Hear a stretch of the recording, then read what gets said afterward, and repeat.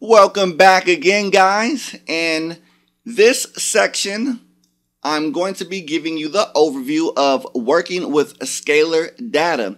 So again, we're going to go over all the top topics that's going to be discussed in this section.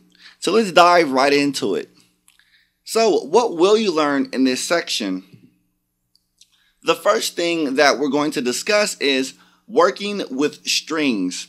And all kinds of languages uses strings.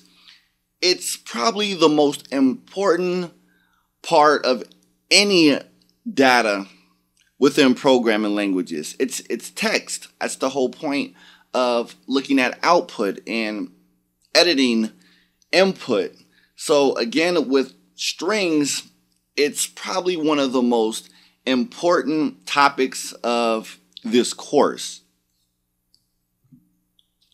So, working with numbers as well, it's just as important with strings because, of course, everything revol- revolves around numbers and we want to make calculations and perform different operations and we want to make useful Perl programs.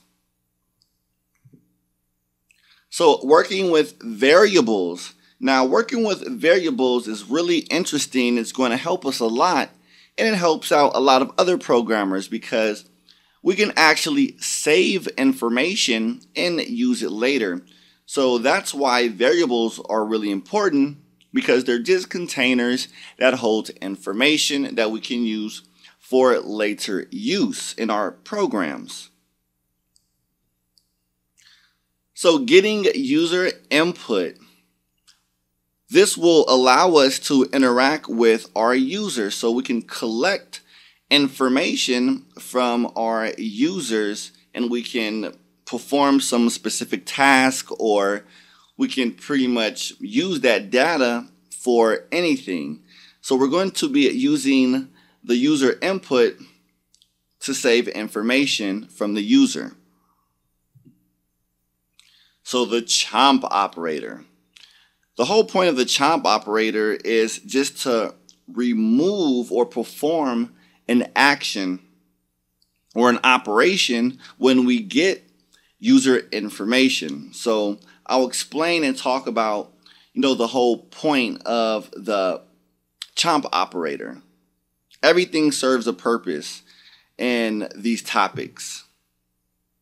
So next on our list we're going to be discussing decision making with if statements. And I'll go over not only if statements, but the alternative if statements as well. And the reason why this is very important in programming because it gives logic to our our programs and it gives us you know the ability to make um, pretty much um, decisions you know if something happens, we want this to happen. So we're going to be giving our pro applications logic and we want it to do things based on decisions it makes.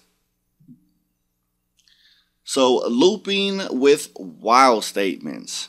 And this is heavily used in a lot of programming languages and programs as well because we it saves us a lot of time from having to repeat a block of code and writing something over and over and over and over again.